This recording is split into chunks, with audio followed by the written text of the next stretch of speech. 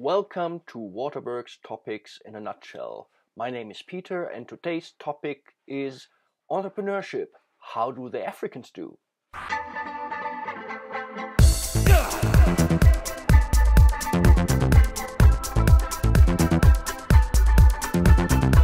Last week I've been to a learning journey to the Silicon Savannah in Nairobi. So, wait, Nairobi was in uh, yeah, in Africa. Thanks a lot.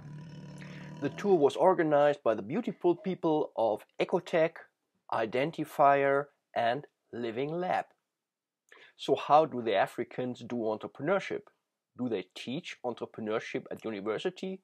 Yes. For example, you can take a course in entrepreneurship and innovation at the Business School of Nairobi University. And what do they teach the students there? lean startup, and business model canvas, believe it or not.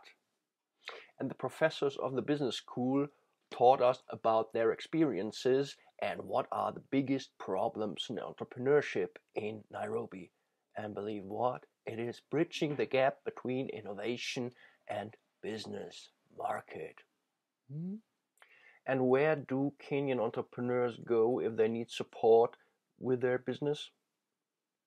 For example, to an accelerator like the iHub. And where do entrepreneurs in Nairobi go if they need cheap office space? They go, for example, to a co-working space like Nairobi Garage. There you can rent a flexible desk or a fixed desk, or you can even just sit in the cafeteria for a fee that is less than a coffee and you have full equipped Wi-Fi and everything you need.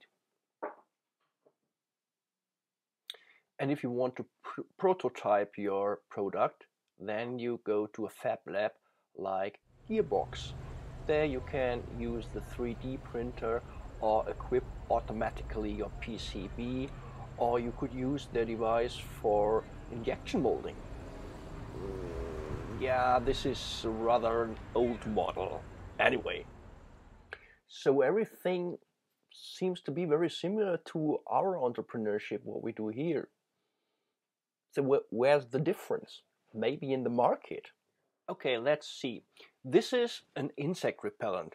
Yes, it chases bugs away. Right, and this you need also in Africa. Yes. But there are other problems in Africa. They have elephants. Elephants are awesome animals. However, if you are holder of a, a vegetable garden, you don't want to have elephants in your vegetable garden. They eat everything, save chili. Save chili? Hey, that's an idea. Maybe we can build an elephant repellent based on chili. Here we go. This is, of course, just a prototype, but this is a box filled with chili powder. And if an elephant gets in contact with this box, it'll be chased away by the awful taste of chili. Isn't that great? Yes, different markets in Africa.